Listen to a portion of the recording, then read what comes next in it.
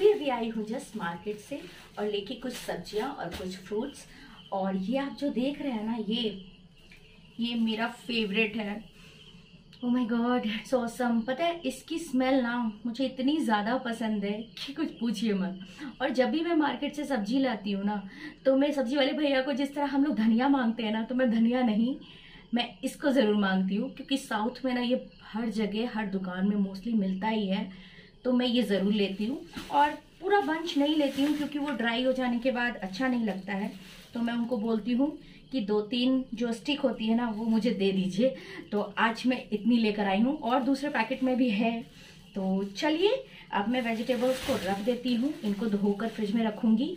और आज मैं क्या बनाने वाली हूँ, आपको दिखाती हूँ। तो यहाँ मेरा लहसुन देख सकते हैं, ये छिल गया है। और मेरे पास अदरक है तो आज जो डिश मैं बनाने जा रही हूँ ना, वो मोस्टली सभी की फेवरेट होती है। मतलब मेरी तो और मेरी फैमिली की तो फेवरेट है।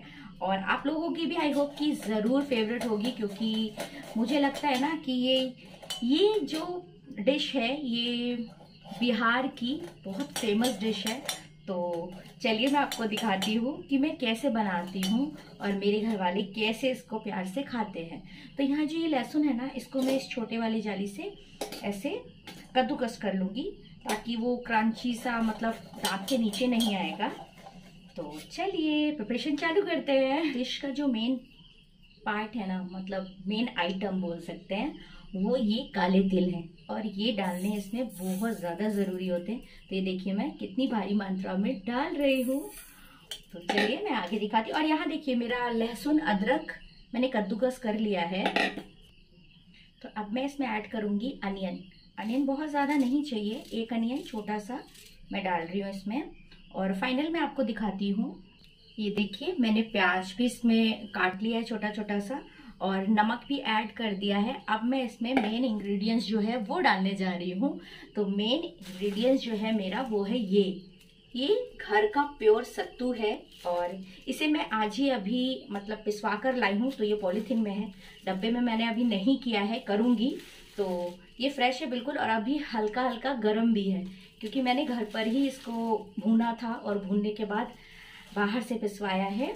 क्योंकि घर में पीसने में ना बहुत टाइम लगता है। वैसे तो थोड़ा होता है तो मैं घर पे भी पीस लेती हूँ, लेकिन ये थोड़ा ज़्यादा था। वन के के ऊपर था तो मैंने बाहर से पिसवाया है।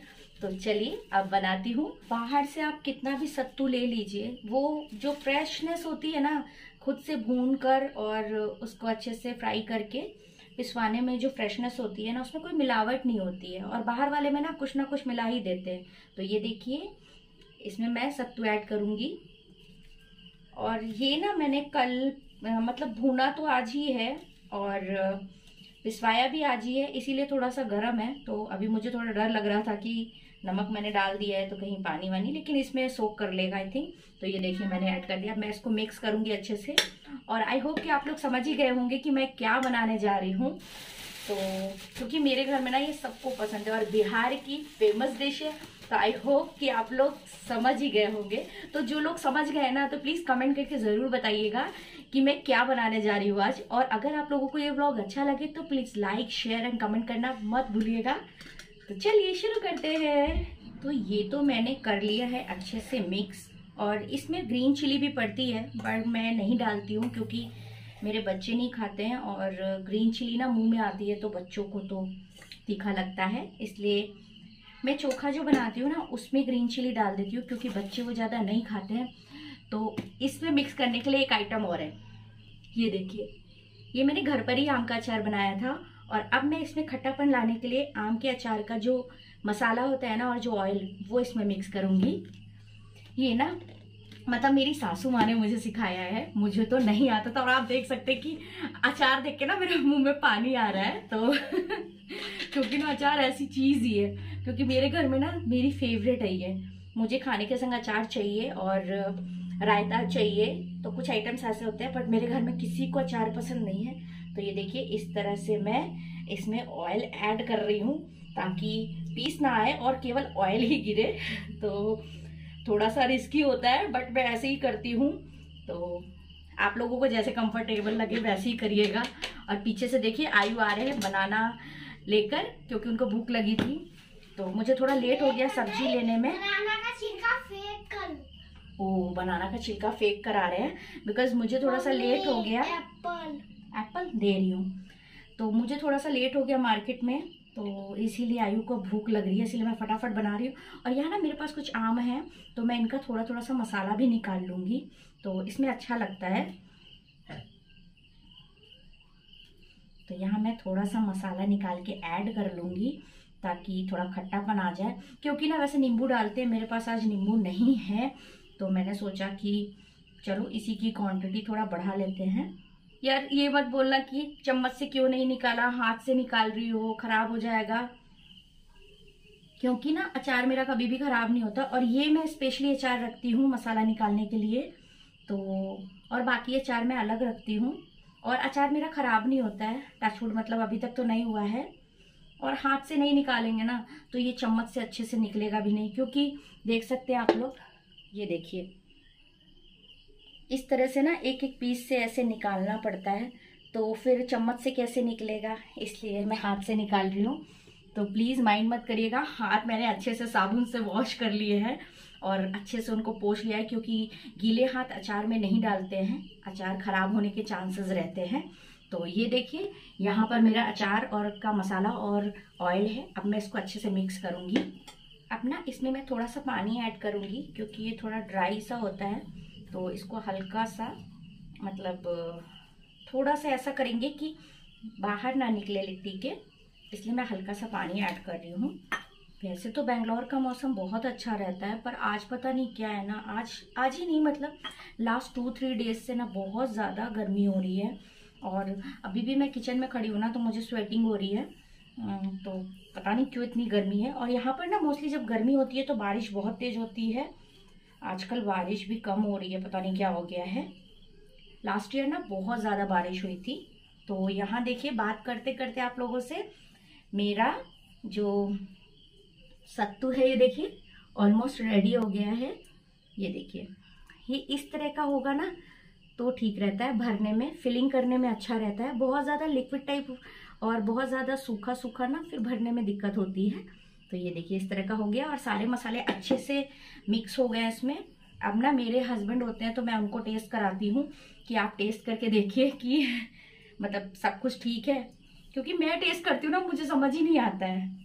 वो मुझे अच्छे से बता देते कि हाँ खट्टापन कम है या नमक तेज है, कम है, जो भी है। वैसे तो मुझसे नमक तेज नहीं होता है, क्योंकि मैं कम ही डालती हूँ।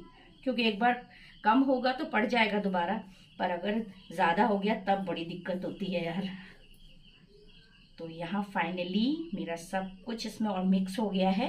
क्योंकि ना अच्छे से नहीं मिक्स करेंगे ना तो कई बार क्या होता है, जो अचार का मसाला होता है ना, वो इसमें किसी एक एक जगह पे रह जाता है।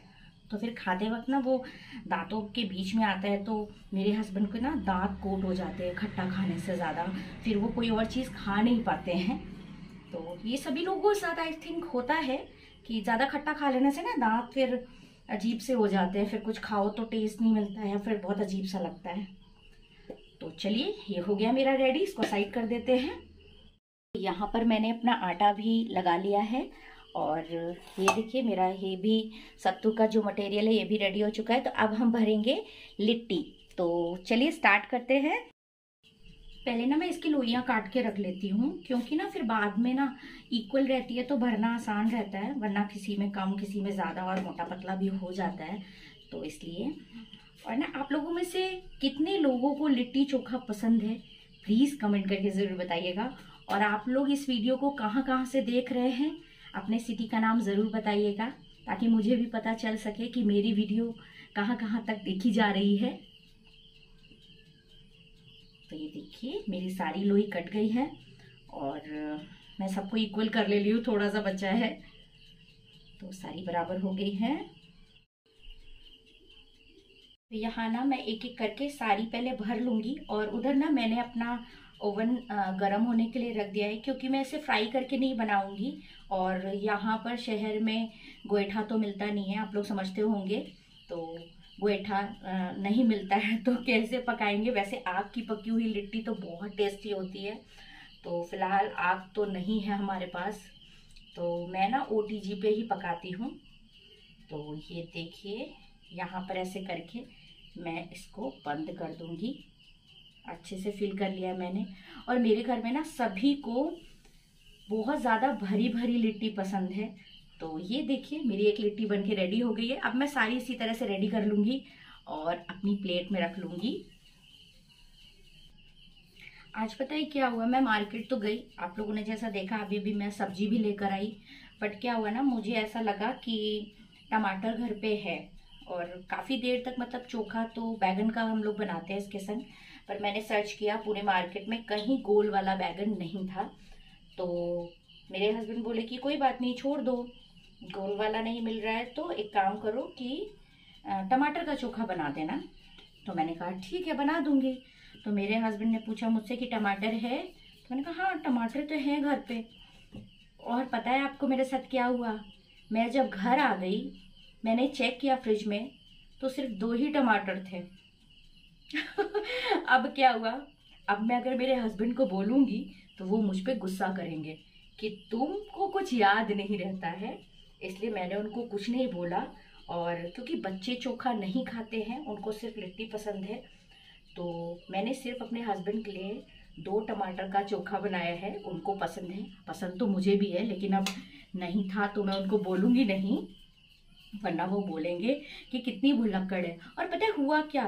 ये क्यों हुआ? ये इसलिए हुआ क्योंकि लास्ट टाइम मैं हाफ़ के जी लाई थी टमाटर तो मैंने ना क्या किया ना, बीच में बेटी को टमाटर की चटनी चाहिए थी तो मैंने उसको बना दी। अब मुझे लगा कि टमाटर घर पे हैं तो इसी के चक्कर में ना हो जाता है यार कभी कभी भूल जाते हैं। हम भी तो इंसान ही है ना, गलती हो जाती है। पर उनको बोलूँगी ना तो वो गुस्सा करेंगे। मतलब गुस्सा वैसा गुस्सा नहीं करेंगे, बट हाँ बोलेंगे कि तुम एक हाउसवाइफ हो के ये सब याद नहीं रखती है वो, वही लेक्चरबाजी शुरू करेंगे। तो मैंने उनको नहीं बताया। और अभी वो है नहीं नीचे गए हैं। वॉकिंग करने आ, मतलब अपने फ्रेंड से बात भी कर रहे हैं और वॉकिंग भी कर रहे हैं। तो मैंने कहा फटाफट मैं तैयार कर लेती हूँ क्योंकि टाइम भी हो गया है। सेवन थर्टी हो रहा है तो मैं फटाफट यहाँ पूरा प्रिपेयर कर लेती हूँ। और यहाँ देखिए मैंने लोगों से बातें करते करते इतनी प्रिपेयर कर ली है। तो ये देखिए मेरी सारी लिट्टी यहाँ पर भर चुकी है। और ना सिर्फ़ इतना ही मसाला बचा है, ज़्यादा नहीं बचा क्योंकि मैंने नॉर्मली बनाया था कि ज़्यादा ना बचे।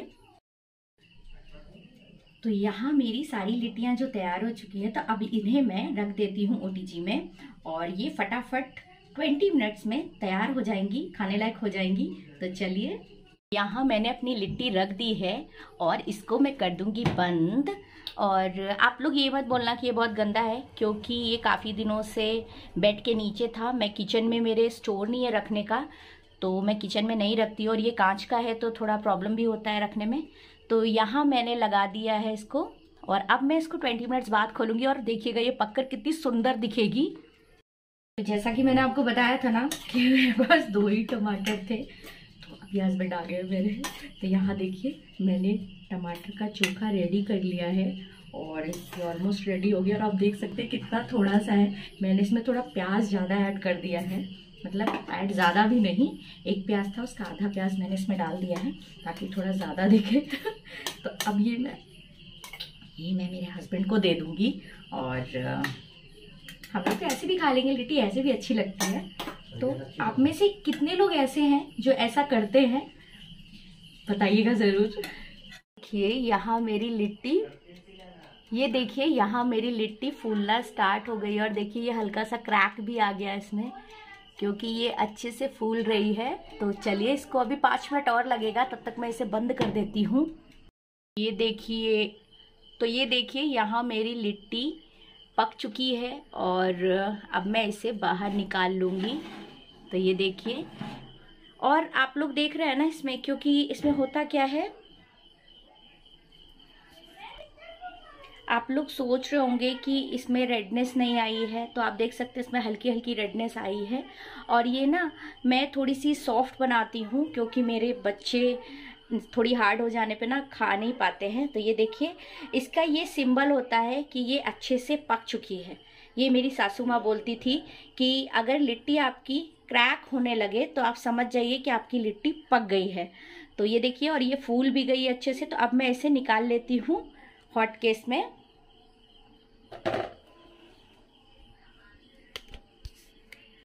यहाँ पर मैंने अपनी सारी लिट्टियाँ हॉट केस में निकाल ली हैं ताकि ये गर्म रहेंगी और आप देख सकते हैं कितनी फूली फूली सी बनी है। ये एक्चुअली ये जो प्लेट होती है ना, उसका दाग है मतलब उसका स्पॉट है तो इससे कोई नुकसान नहीं है। तो ये अभी बहुत गर्म है, आप देख सकते हैं स्टीम निकल रही है। तो जैसे कि आप लोगों को पता है, लिट्टी खाने का जो असली मज़ा है, वो इसको इस तरह से शुद्ध देसी घी में डिप करके खाने का जो मज़ा है ना वो अलग ही है। तो ये मैं इसको यहाँ पर अच्छे से पूरा कोट कर दूँगी और कोट करने के बाद ना, और ये घर का घी है, फ्रेश है, मैं घर पे बनाती हूँ। बाहर से मैं कभी भी घी नहीं लेती हूँ। अब मैं इसको अच्छे से प्लेटिंग कर दूँगी इसकी और उसके बाद इसको खाएँगे। तो ये देख तो ये देखिए, यहाँ रेडी हो गई है मेरी लिट्टी घी के साथ। पूरी घी के साथ अच्छे से डूबी हुई है और यहाँ टमाटर का चोखा तो कैसा लग रहा है आप लोगों को देखने में? और देखिए, मैं तोड़ के दिखा रही हूँ कि ये, मैं नहीं मतलब मेरे हस्बैंड तोड़ के दिखा रहे हैं कि ये देखिए, पूरी तरह अच्छे से पक चुका है अंदर। और ये देखिए, अच्छे से पक चुका है ये देखने में, क्योंकि ना ये आग जैसा तो नहीं हो पाता है तो ओवन में बट पक अच्छे से गया है तो आप लोग देख सकते हैं। तो मैं चली अब इस लिट्टी की प्लेट को फिनिश करने। तो आप लोग कमेंट करके ज़रूर बताइएगा कि आप में से कितने लोगों का ये फेवरेट फ़ूड है। क्योंकि मेरा और मेरी फैमिली का तो बहुत ज़्यादा फेवरेट है। तो चलिए, फिर अब इसे इंजॉय करते हैं और कैसा लग रहा है ये ना? लग रहा है ना? बहुत अच्छा। तो आप लोग भी बनाकर खाइए और हम लोग भी खाते हैं। तो आप लोग कमेंट करके ज़रूर बताइएगा कि आप लोगों को मेरा ये ब्लॉग कैसा लगा और अच्छा लगा हो। तो प्लीज़ लाइक शेयर और कमेंट करना मत भूलिएगा। तो बाय बाय फ्रेंड्स फिर मिलते हैं नेक्स्ट ब्लॉग में। तब तक ले बाय बाय